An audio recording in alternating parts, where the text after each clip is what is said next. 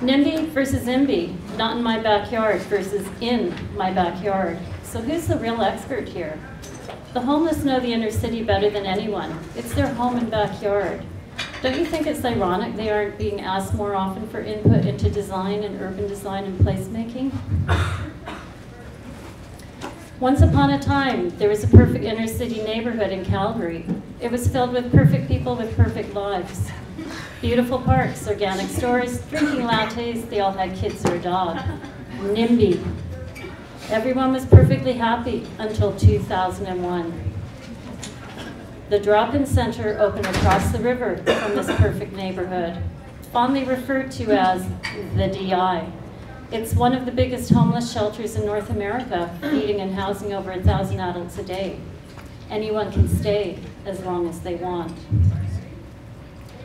The perfect neighborhood voiced dissatisfaction. They spoke angrily about the DI, homeless neighbors, distasteful activities. I've used some of their quotes here in the presentation. Maybe you'll find yourself aligned with their perspectives, but I'd like to share a different way of looking at things. Maybe it'll shift your way of thinking. Let's admit it, new urbanism is really here to stay. But what is it?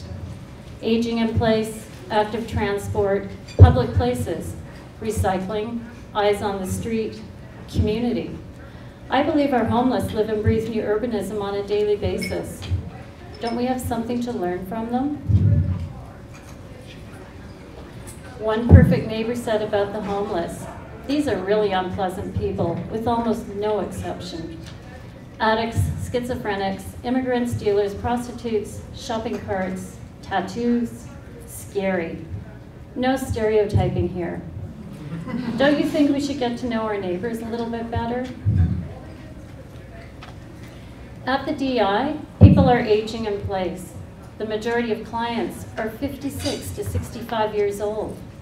In the last 16 years, clients over the age of 65 years has increased by 380%. Many have little education, and physical and mental health illness are common. Owning a car is expensive. The homeless have no choice but to rely on active transport. They walk, bike, and take public transit every day. They probably know their way around the city better than any of us. Their ingenuity in moving themselves and their belongings is truly astounding. Specific to public transit, it does more than just move people. It provides a safe refuge. It provides a place to hide from rain and cold weather. It provides a warm, well-lit place to read a book, listen to music, or be social. It's a place to rest. Here's Colin. He spends a lot of time in this plaza, reading, smoking, listening to his radio, soaking in the sun. He knows the best places to sit and watch the world go by, out of the rain and wind. He's done his own environmental assessment of this public place. The success of public place is often measured by stickiness, that is, people linger and enjoy. So doesn't use by the homeless count? One insightful perfect neighbor said, I hope my neighbors agree that our public spaces are for all public, not just homeowners. A perfect neighbor said, the homeless don't have anything to do during the day. They can be perceived as lazy because they don't have traditional jobs we recognize their value. Binners, also known as bottle pickers or dumpster divers, make their living collecting containers from bins. They're one of the most marginalized groups in cities. But did you know? Binners work really hard, often starting at 5 in the morning, working about 7 hours a day, walking up to 25 kilometers a day, and they earn about 25 to $40 a day. They reduce, reuse, recycle, as one positive neighbor said, binners are actually keeping recyclables out of landfill. In 2014, the Binners Project started in Vancouver. It's a group working together to improve binners' economic opportunities and reduce stigma. They promote a safe work environment. Given the nature of their work, Binners spend their time in streets, alleyways, and parks. Eyes on the street. Let me tell you three stories about working together to make the community a better place. Sense of community, connectivity. Here, two DI clients are volunteering with the Downtown Association and the Cover Your Butts campaign.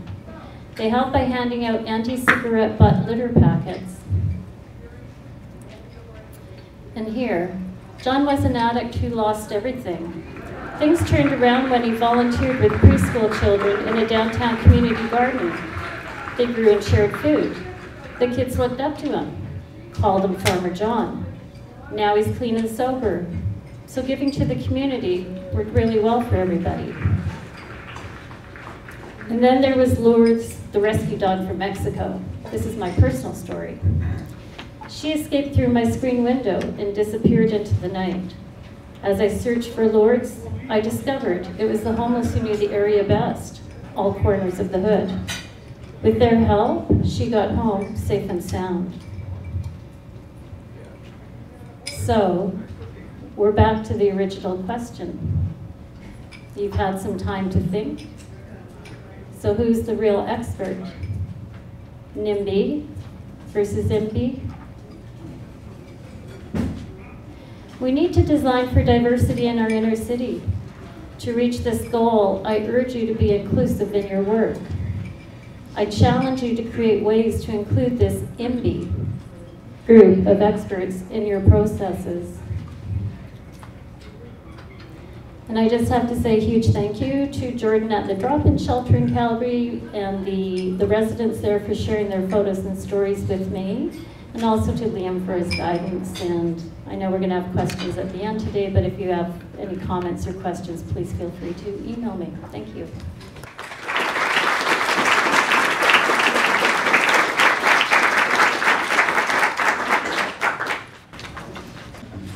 So our, our next presentation is by Brian Gold. Um, Brian is an active transportation planning engineer with the City of Vancouver.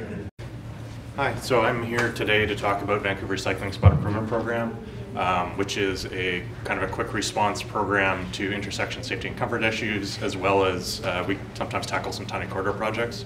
So first project I wanted to talk about today um, is was one of the only locations along the 10th Avenue Bikeway where bikes didn't have priority. So after uh, about a year or two of work, we got a four-way stop people. Um, and, and, so I mean, this isn't always pretty stuff. This isn't easy stuff, but this is a actually a significant improvement in uh, comfort for people cycling as well as walking. Um, we've rotated stop signs. We've removed stop signs along bikeways, converting four ways to two ways. We've taken out traffic circles. Um, we've also got in um, and coordinated with some major infrastructure projects and gotten um, looked at, okay, where are people going to detour off of this arterial? Is it on a bikeway? Can we get in and can we do some very temporary uh, diverters? I'm not going to claim this is a work of beauty. I don't know if Ross is here in the audience to defend his work. Um, one day we'll have a, we'll have a nice uh, uh, cul-de-sac and, and do this up as a park extension. Um, this one you can blame on me. We were in uh, doing some utility reconstruction on Burrard Street. Saw an opportunity to address some rather high vehicular traffic on Cypress, up in the order of a few thousand or vehicle trips a day, and they showed up at this intersection and were kind of turning every which way as people were waiting for the signal to change to cross the street. And so we came in and we put in a, uh, actually, it, now it's basically four partial closures within the span of two blocks, which is a, a bit much, but really tends to bring those volumes down. um, and um, again, uh, not the prettiest thing in the world. Uh, so there's, there's future stages perhaps of, of fully reconstructing the street, trying to pretty things up. Um, but we weren't done there. Uh, Burrard Street itself needed repaving, and we saw an opportunity to do what essentially turned into a very um, I don't know if fancy road diet is the, is the word for it, but we did get a protected bike lane in through that. Um, so if you have a chance to ride across the Burrard Bridge, you can now carry straight south up Burrard. I apologize if you don't get much past 4th, we're still building it. Um, and so there's also uh, these targeted safety improvements. So we've uh, we have yield on turn intersections, we have protected right turn face intersections you've probably seen, and we've also got some turn ban intersections. Um, there's a few locations downtown. There's also one we uh, just addressed at Burrard Pacific where we uh, extended out the median. So what we're seeing is people were able to make these turns and all the signage and all the paint in the world only really got maybe a, a, a third reduction of the people making those illegal turns. Uh, extending the median re- reduced um, those illegal turns by a further third, and that's where we really started to see the, the uh, collision reductions. It didn't really seem to be the people who knew what they were doing; it was the people who were doing it anyway. Um, and so, at Burrard Pacific, at least, we saw about a two-thirds reduction in, in collisions attributable to those illegal returns. Um, this is a more complicated example uh, at Hornby and Dunsmuir, uh, where previously both streets, the medians just kind of ended short of the crosswalks, um, and we were able to extend the medians out to meet in this corner. Um, so again, addressing those right turn conflicts, um, but it goes beyond the right turn conflicts because previously Hornby and Dunsmuir basically they, they touched each other, but they didn't connect. And so if you were riding down Dunsmuir and you wanted to continue on the protected bike lane network, you know, make that left turn toward the art gallery, you were sitting out in traffic just as, I, I can't show you more than one photo of the sequence, but that, that SUV is turning right illegally across the path of those people waiting to make that turn. And that is not a good situation for anybody. Um, so I, I, again, with, with extending those medians out to meet in the corner, we created either what is a really, really good uh, two-stage turn box or a really terrible protected intersection. I don't, frankly, I don't, I don't care which one you think it is. I just hope that it's better than it was before. Um, maybe there'll be some opportunities. we remove the Georgia and Dunsmuir viaducts and there's less traffic on Dunsmuir to do something a little better here in the future, and we'll see what opportunities present. Um, so I was talking earlier about some tiny corridor projects. This is about five blocks of Richard Street that needed repaving a couple years back. And so we looked at uh, the widths and found that there was just enough room. Like the bike lane was slightly wider than it needed to be, the parking lane was slightly wider than it needed to be. Just enough room to put the bike lane on the correct side of the parked cars um, which works a lot better if you have parked cars. Um, so apologies for this photo. Now it's just a really nice wide buffer bike lane, but that kind of kind of speaks to when you're doing these things quickly. You're not necessarily looking at do we need both travel lanes? Do we need both parking lanes? Could we instead have found the room for another direction of bicycle travel on the street? Um, and I guess the other thing to look into is are you able to put a physical object in there to prevent people from illegally parking and also so that they've got some protection uh, when there isn't parked cars. Um, but Richards is actually a relatively important connection now, especially since we've uh, put protected bike lanes on Smithe and Nelson Street coming off of the Cambie Bridge. Um, so uh, it's, it's unfortunate that Smithe just kind of ends at Richards, but on the other hand, it gives you that protected option to, to keep going uh, along your way. Um, sometimes we do a project and then we keep doing projects at the same intersection. So this first iteration was to address a gap uh, between the east side share path on the Cambie Bridge and painted bike lanes on Beatty Street. So the first move was to put in a two-way protected bike lane, uh, both for the comfort of people riding in this painted uh, westbound lane, as well as to try and stop people from riding eastbound on the sidewalk, because there wasn't any equivalent facility. Um, so we put that lane in, and that was great. Uh, people could safely connect to Beatty Street, but what a lot of people really wanted to do was just ride up Smithe. Um, and as we finished this construction, there was a construction bin that was sitting in the curb lane, and that was that was a really awkward part of my commute for close to close to half a year. But it was this argument that hey, maybe we don't need that curb lane for that first half block. Maybe we could put in a really um, short piece of uh, the the lowest painted and bollard, the lowest quality bike lane I've ever been able to put in, and still called kind of protected.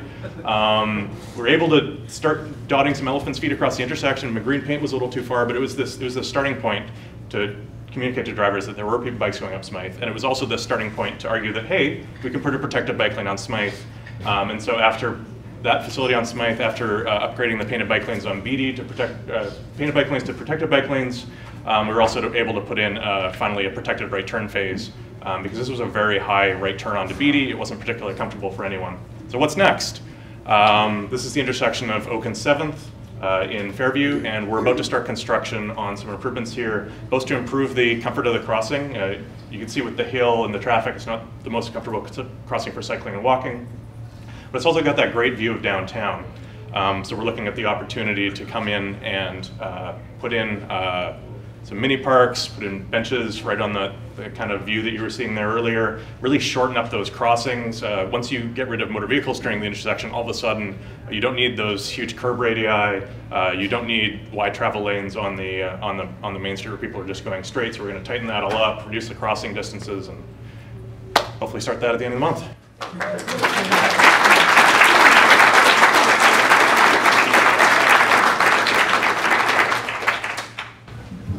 Thank you.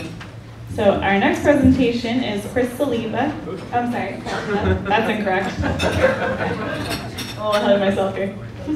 I'm sorry. Our next presenter is Jason Fielkoff. Um, Jason is a senior engineer with the Seattle Department of Transportation. Uh, he is also the co-founder of Honk Texas.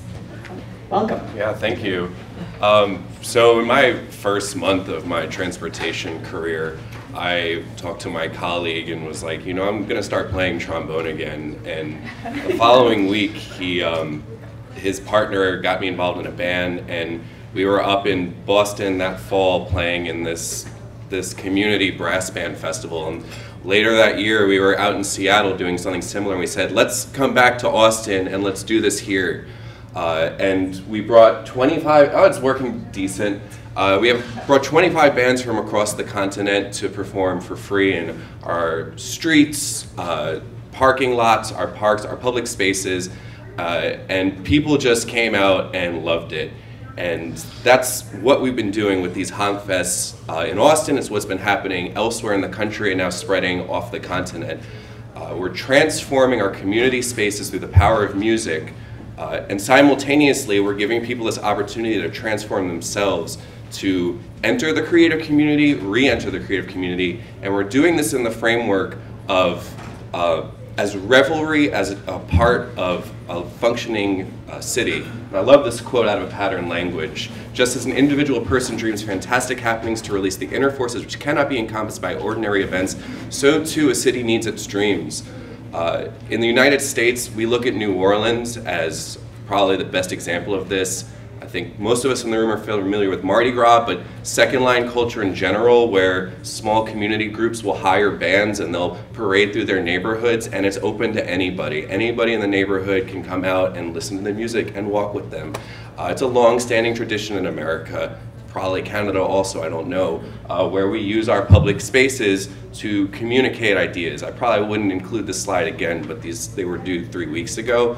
Uh, I'd probably touch on Carnival in Brazil, where like this is something that's international. It's it's woven into our fabric. Uh, this is an example of transforming public spaces in Austin, Texas. I don't know if anybody's been to Congress Avenue downtown. It's Texas's Main Street, and in that nature. It's a seven lane arterial and it moves a lot of cars.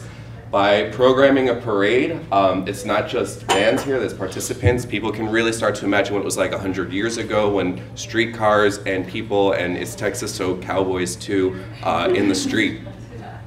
It's, it's kind of chaotic, honk. You're, you show up, it's, it's like the farmer's market. Like, who is running this? I don't know, but it's, it's working. Um, and and it, it, it, it activates spaces in a way that like sometimes we, we create things and I mean we, we're getting better at it but it, it, it allows people to come and see what they have available. So here's an example from Seattle. I don't know how many of us have been there. This is Gasworks Park. Um, it's used to be a gas plant and it was I guess upcycled into a park and it's a very beautiful park. I would say that it's underutilized. Other people might disagree. Um, but by programming bands there, it starts to generate it as a community center. People come out, and, and we know it's successful because here, other places um, where we do this, there's now for profit events coming in behind us with using the same ideas and the same language. Honk is different. Uh, it's not just transforming public spaces, it's, it's making music and these spaces accessible to everybody.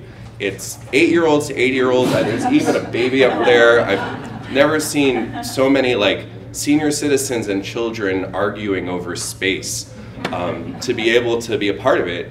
And it's important to look at our festivals this way too, because a lot of times we go out now uh, and and it's like a it's, we consume it. It's you pay two three hundred dollars to stand in this huge crowd. Most there's a lot of people who will not do this, and you're you're a quarter mile away from the stage and you're watching TV. There's two sets of speakers, and I mean, there's a place for. I, I saw OutKast; it was awesome. But like, the, when we when we do this, anybody can come out. Um, anybody can participate, and that's that's really where we start to see these like I don't I don't how I don't think had that that concept at first, and then people just started showing up afterwards, being like, how can I start performing? How can my community organization get involved in this? Uh, in Boston, in Somerville, They created a school so that all year people who went to the event could come and they could learn to play music or relearn to play music alongside professionals, friends, neighbors, so that the following year they could come out and they could perform for their family and friends. Uh, and that, that it's different that way when you recognize the participants and there's no longer that fourth wall. You're, you're a part of it. This is the Carnival Band here in Vancouver. They do it every Monday night on Commercial Drive. You can go out, they'll teach you how to play music, and you can, you can go out and you can pray. I think this is a, the Chinese New Year, I'm not sure. I just pulled this picture. That's not to say Honk doesn't have its, uh, uh, its challenges. It's a hip event, it's really white, um, and it, it makes us question like, who are we activating our public spaces for?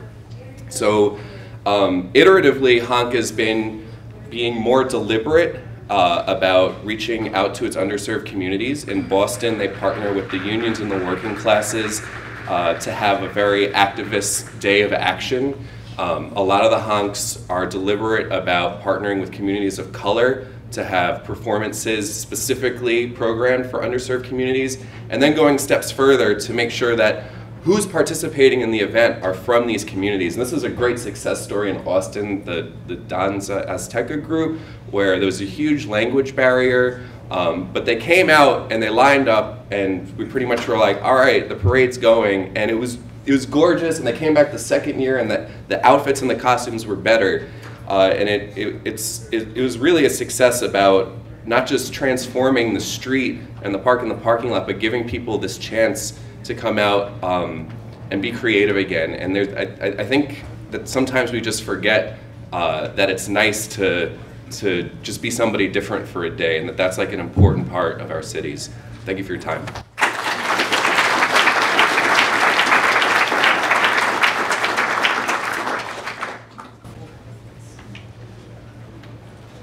Thank you. I apologize again for the name mix-up. Um, Chris is up next. Chris Saliba. Chris is a design associate with Alta Planning and Design.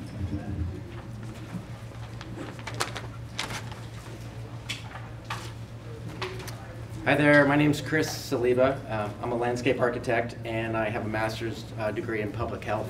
Um, early in my career, I worked in smo- smoking cessation um, at Brown University and Group Health Cooperative in Seattle. During that time, I worked with teens and adults um, to help them develop successful strategies to quit smoking um, using an evidence-based um, approach to behavior change. Over the last 11 years, I've been working as a landscape architect and healthy communities consultant, focusing on the integration of active transportation into urban design and transportation planning. This presentation is going to highlight my experience and takeaways from smoking cessation and how they can be applied to the field of active transportation. Over the past two decades, we as a society have made a huge progress to help people quit smoking. According to the American Cancer Society, smoking cessation programs have helped more than 2 million people develop action plans for quitting. We can now learn from these successes in our efforts to help people use more active modes of transportation. When trying to quit smoking, there are a number of techniques that people use. However, excuse me. Um, however, what has been found to be most successful is when people use a combination of strategies. So in smoking cessation, that includes policy, um, such as taxing cigarettes, medication, um, and developing and using counseling-based programs. When trying to get more people using active transportation, most discussions focus on infrastructure investment for safe streets, which is really important. But we also need to be investing and thinking about encouragement and education programs. The, our encouragement and education programs are really vital to helping people figure out for them personalized um, aspects of what works best for them. Ooh, here we go. In smoking cessation counseling programs, the stages of change model has been used to help uh, people identify where they're at in their willingness to change. The stages of change model um, is used uh, to assess and kind of direct people towards advancing and movement throughout their, their different stages. To give you an overview of the different stages, um, we start with pre-contemplation, where somebody might not be thinking about changing a behavior, or contemplation, where they're aware of their behavior and they may not be willing to, to change. Preparation, they're getting ready to change. Action, they're actively trying to change. And maintenance, they're trying to uh, maintain a behavior. So in smoking, that's trying to stay quit.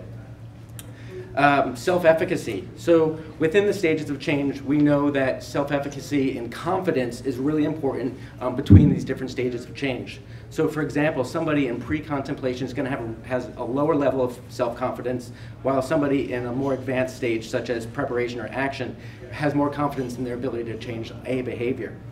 So talking a little bit more about pre-contemplation, um, here where is an individual, an individual might not be thinking about behavior change. So what's really important here is while we're engaged in encouragement programs um, and behavior change programs is matching strategies with where people are in their willingness to change. So in pre-contemplation, it's really about education and, and really not, uh, and really coming in a non-confrontational way.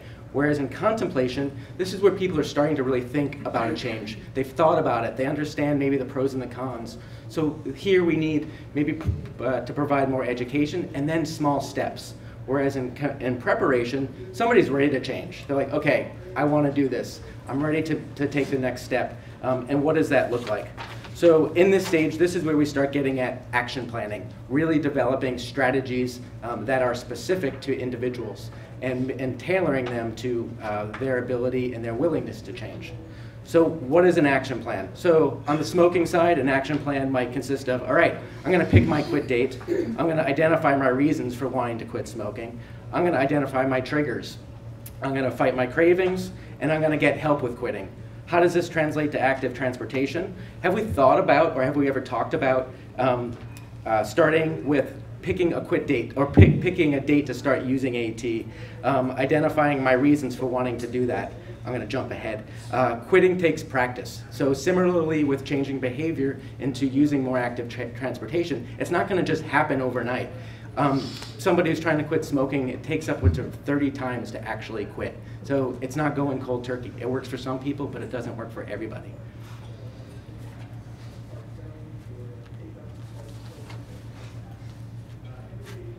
I'm going to jump ahead a little bit because I have a little time. Um, quit coaches. Uh, so in smoking cessation, quit coaches um, are professionals that have been trained using different strategies such as motivational interviewing. Um, and quit coaches are providing the social support that people need. Um, so for example, there are uh, statewide programs that offer telephone-based support um, and texting support. So my take on that is, hey, what about transportation coaches? There are programs that are happening um, that are using those techniques and using transportation coaches to help um, tailor uh, action plans. Motivational interviewing. So motivational interviewing is a psychological uh, strategy or technique, you could say, um, that is used um, as a therapeutic style to help engage and move people along the stages of change social support. So as part of your quit plan, um, tell people what you intend to do. Here's, this is a strategy. So find somebody you know, within your social network, within your group, um, that you can actually start making change with. Find somebody that can help hold you accountable and encourage you along the way. This can take a lot of different shapes. This can be your neighbor, this can be your partner, you know, this can be somebody that you work with, but having somebody that is um, uh, available to you to provide that, that network support um, is really valuable to hold you accountable um, along the way. So it's, you know, with quitting, that's just like finding a quit buddy. And so really it's talking about finding a, a ride buddy. Um, small steps. Um, and smoking, this would be something like cutting down the number of cigarettes. And active transportation, it might mean, you know, starting to take the bus um, a couple days a week. And or let's say you want to in integrate more walking activity. So getting off the bus stop one stop early or two stops early the next week. So making it incremental. Lastly, this is my lovely family. My wife um, is a contemplator. Um, she is taking small steps um, by riding with our daughter to school. The other barrier for her was having a bike that worked for us. So we need to figure out not just having safe streets, which has been awesome, but also overcoming those personal barriers that make it usable for her. Thanks.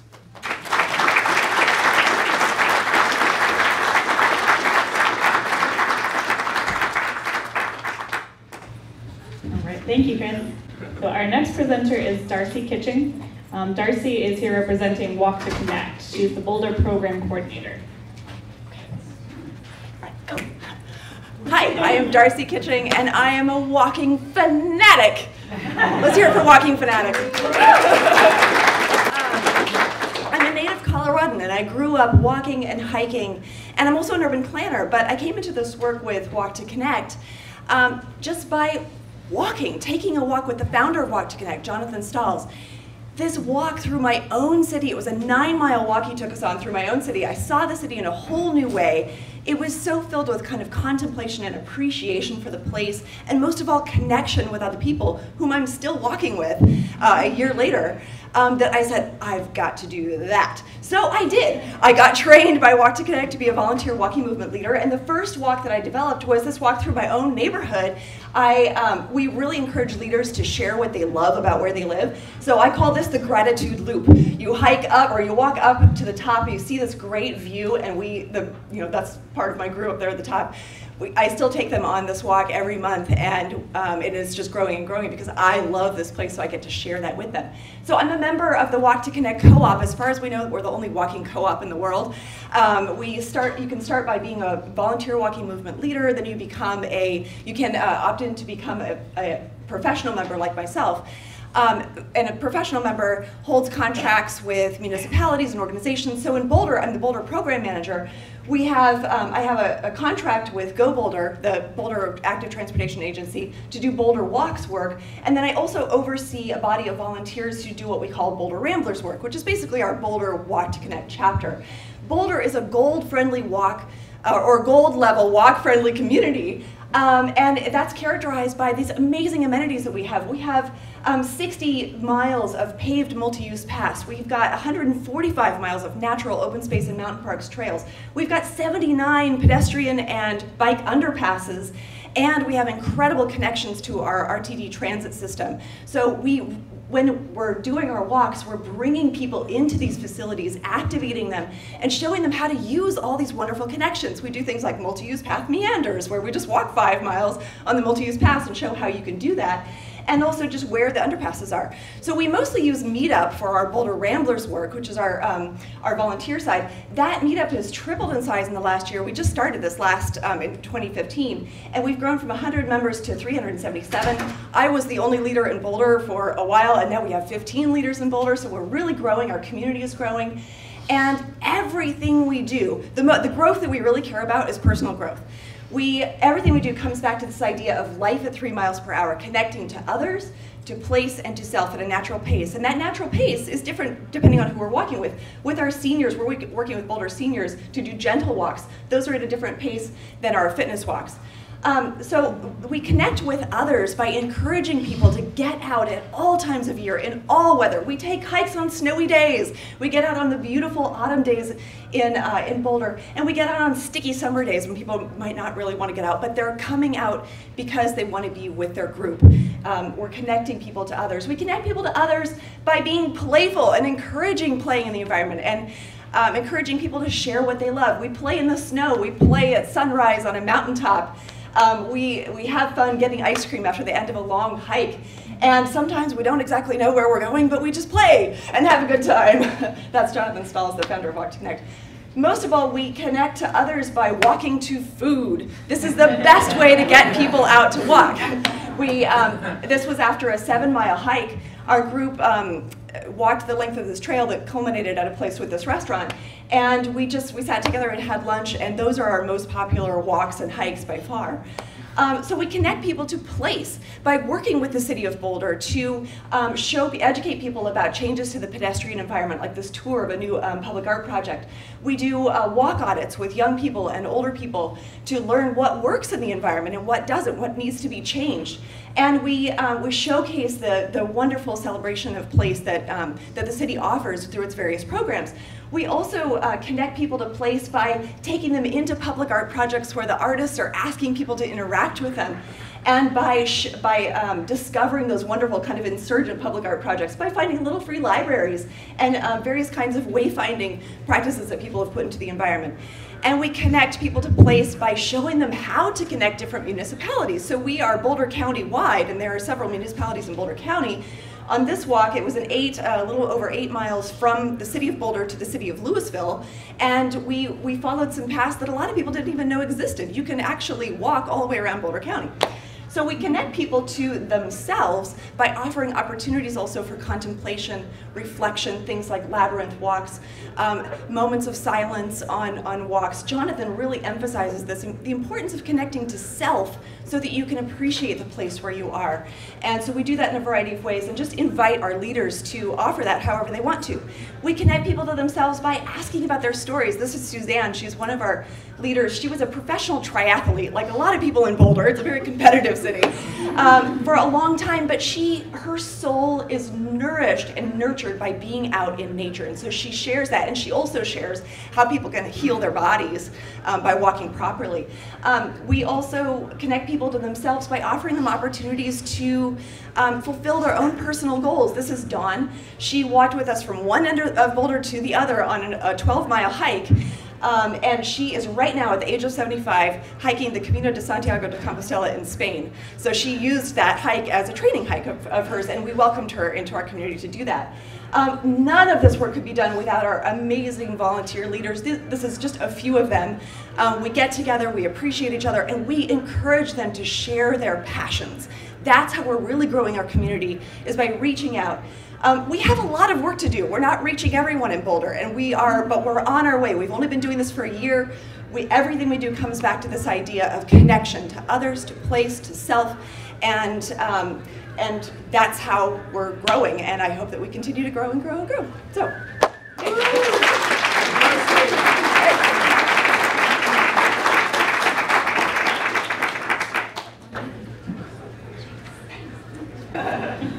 All right, our last presentation today is uh, Talia Lang. Talia is joining us from San Francisco from the Municipal Transportation Agency. Uh, she's a senior transportation planner there. All right. Thanks so much. Good morning, guys. I'm Talia. I'm from the San Francisco Municipal Transportation Agency, and I'm here today to talk to you about the raised bikeway in San Francisco, our first raised bikeway, and our evaluation of this project. Um, so to start off, uh, for those of you who don't know, what is a raised bikeway or cycle track? Well, raised bikeways are bikeway facilities that are vertically separated from motor vehicle traffic. They can be at the level of the adjacent sidewalk or set at an intermediate level between the roadway and the sidewalk. They often have buffers between the bikeway and the roadway. So these have been very effective, so they've been done before. I'm faster than it. They've been done before in many different cities across the U.S. Um, and internationally. There, you guys have a lot of great examples right here in Vancouver, which I am totally jealous of. Um, they've been done in places like Boulder um, and uh, I'm sorry, and um, Portland and Cambridge, Massachusetts, Copenhagen, and the Netherlands. But they haven't been done in San Francisco until now. Um, what you see here is a Market Street Raised Bikeway demonstration project. It's a one-way cycle track on a two-block section of Market Street in the inbound or eastbound direction. Um, we tested four different designs on this two-block stretch, about a half a block each. Um, they each have slightly different profiles, but what they all have in common is that they're an intermediate level between the sidewalk and the roadway, and they all have a curb separating the bikeway from the roadway. I'll walk you through each of them in uh, just a second. Um, so we really wanted to really test each of these designs and see how they would work with our public. Option A is our wide mountable curb. It has a one foot wide beveled curb between the bikeway and the roadway and it's raised about two to three inches above the level of the roadway. It's uh, six foot wide, um, seven foot wide if you include the curb. Our next option is option B, a mountable curb. It's a six inch mountable curb, beveled curb, so a little bit steeper than the previous option. Again, the bikeway is raised two to three inches above the level of the roadway, and it's six and a half foot wide, seven foot wide if you include the curb. The next option is option C. Man, slow down. um, a mountable curb, but it's near the sidewalk level. So very similar to the previous option, except it's raised a little bit higher, only about two inches below the level of the sidewalk, which is why we have those yellow tactile domes for ADA reasons um, on the sidewalk adjacent to the bikeway. Um, again, it's uh, six and a half foot wide. Um, last option is option D, the vertical curb, so a 90 degree curb separating the bikeway from the roadway. Um, this is similar to options A and B in that it was it's raised two to three inches above the level of the roadway and it's six and a half foot wide. So, like I mentioned before, we wanted to test these four different designs and see how they are performing, so we conducted a multi-pronged evaluation, the purpose of which was to measure the level of support for raised bikeways in San Francisco, to document the actual and perceived safety issues, accessibility, maintenance, constructability, and cost factors, compare findings to the previous condition on Market Street and then alternative designs, and lastly, really to guide the SFMT on how best to implement raised bikeways in our future projects. Our strategy included video and staff observations. That bottom right is a clip from our, our video review, guy doing a wheelie. Really fun. video review is awesome. Testing and interviews, online public surveys, stakeholder guided tours, uh, intercept surveys, and open comments, 311s, emails, hearing from a, a range of people.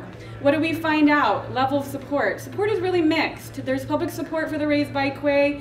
66% of people surveyed were in support of installing raised bikeways in other San Francisco locations, but people had significant issues with aspects of the design and felt there was room for improvement.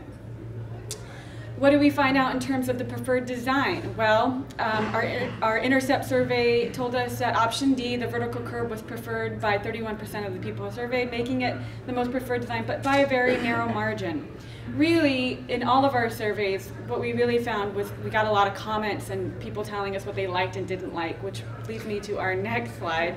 Major issues and challenges. Vehicles are blocking the bikeway. Loading's an issue. The bikeway needs clarification. People really wanted to see it painted green. Some cyclists have trouble navigating the vertical curb on the seven foot bikeway, especially when it's crowded. So really what it comes down to, there's a big divided tension between severe curb angles to deter vehicles and gentler curbs which allow cyclists to come in and out. Constructability and cost. Utilities and drainage really affect the physical characteristics of a bikeway. They affect the width and the, the curb types. Um, the cost of a raised bikeway can be much more expensive than a buffered bikeway and, and a painted bikeway. So really we need to weigh the construction costs and benefits when we go to implement raised bikeways. Maintenance, the, sweeping, the street sweeping machines that regularly sweep Market Street. Um, cannot sweep the raised bikeway. It's a little too narrow, it can't get suction. Truncated domes, uh, tactile domes get pretty dirty and have to be manually swept because of uh, sub-sidewalk basement issues. So we're not really gaining any maintenance efficiencies from the raised bikeway. Accessibility, accessibility community, they were generally supportive um, and liked a lot of aspects of it, but didn't like the vertical curb because they weren't able to pull close and deploy their passengers, and they didn't like the bikeway at sidewalk level because they feared cyclists entering the sidewalk. So what does this all mean? Like, what does this mean for how we're going to do things in the future? Really, what we found out is that perhaps the only way to deter vehicles in San Francisco is using some sort of vertical curb option, but it needs to be wide, and buffer a buffer might be essential to ensure the safety of our cyclists. So we're going to have to look at this design and, and see how we can do it with a certain width and with clear entry and exits and buffers. And since we don't have a lot of horizontal real estate in San Francisco, we're really going to need to look at less severe curb designs that may be appropriate on narrower streets, and especially in areas with high bike volumes. And then lastly, we might need to go back to basics, which is the next slide, and really look here we go.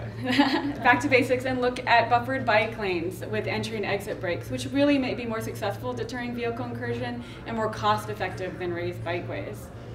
So in conclusion, basically pilots are really good because you know you find out what's not working and you you know make some changes and modify and modify until you get it right. And what we found in San Francisco is that it's a unique city with a lot of cranks and cogs and it begs for custom design of our bike facilities to make for some really great streets.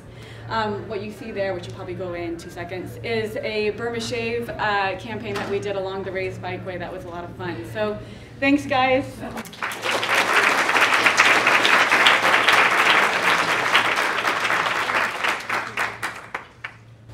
Um, we're going to open it up to questions now.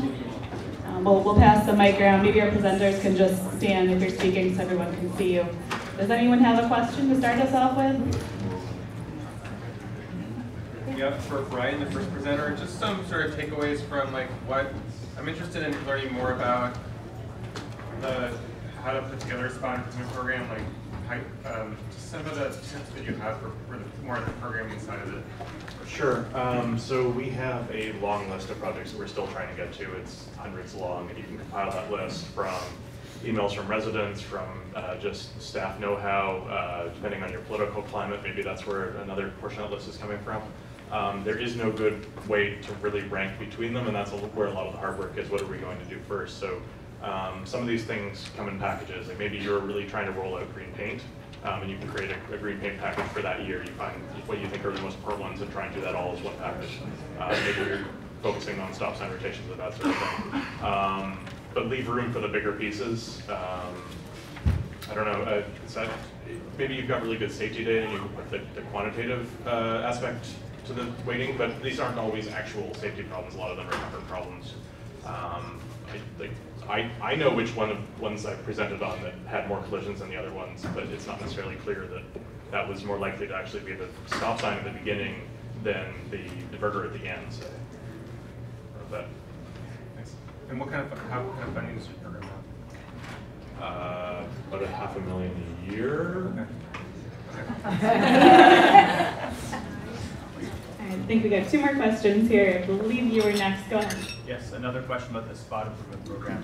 How do you identify uh, locations that require improvement? Is there some kind of system in place? Is it based on complaints, uh, uh, collision data, or what is it? So that was kind of the beginning of the previous one is like getting those ideas from resident complaints and from just staff know-how, and, like tying that all together. Um, yeah, I mean, if you have collision data, you could use that, and we, that's how we identified, say, the, the basically four traffic circles in the city that were actually problematic in terms of collisions between people driving and cycling, as opposed to most of them which had one or fewer uh, collision recorded in the last five years. And is that considered also related to volumes, cycling volumes? Uh, Yeah, and and again, it's not always the most quantitative ranking system. That is definitely something we can put into practice. We have this focus on uh, what we call our metro core, so the things that are in close to downtown, things that we're trying to get towards a AAA level. It's not, it's not really hard numbers most of the time for us. All right. I think you're up next here. Go ahead. This for Brian as well. It's not a question, I just wanted to thank you. Thank you. Um, I use my bicycle to cycle everywhere around the city, and I really noticed those improvements, and it's Yeah. made a big difference for me. Mike's, uh, Mike's really back. He's, he's uh, put together stuff before, before me and during and some of the fancier stuff too. So make sure you give him some of the applause as well. I don't know if I should take the mic back or just. Does anybody else have a question? We just have a minute or two left here. I have a question for Darcy, and I know that your program is only a year old, but um, I, I wondered if you have specific um, strategies for trying to reach out to, you know, greater diversity of participants. Yeah, that's definitely something that I'm working on more. We've been kind of, uh, we've been tapping into the, you know, 3,000 plus um, uh, community of Walk to Connect, which is Colorado-wide. Um, but in Boulder, and you know, it's it's a challenge. So we, what we're trying to do um, to increase the diversity of our participation is really um, uh, show those transit, the, the links between transit, um, things like B-cycle, all the different uh, ways that we have for people to get around the city. And actually, I, I, my background is in participatory planning, and I really just want to go and listen, honestly. We have, we have a, a serious housing problem in Boulder in terms of affordability, and we've got a lot of people living in kind of trailer communities around the, the city, and I would really love to reach out to them and just listen and understand how they're uh, moving by foot through the city and what we can do to help their um, uh, their issues be recognized. So I don't know. I mean, it's something that I'm definitely working on. Um, we have had success work. We've, we've got a lot of partners around Boulder, and we've uh, been working with uh, organizations like Growing Up Boulder to uh, reach uh, children in schools, um, to do those walk audits like I showed. And so that's the kind of stuff that we've been doing so far. But I'm, that's definitely my, my next really big issue. All right, I think we have time for one more question. Does anyone have a question or comment? No? All right, um, thanks, thanks.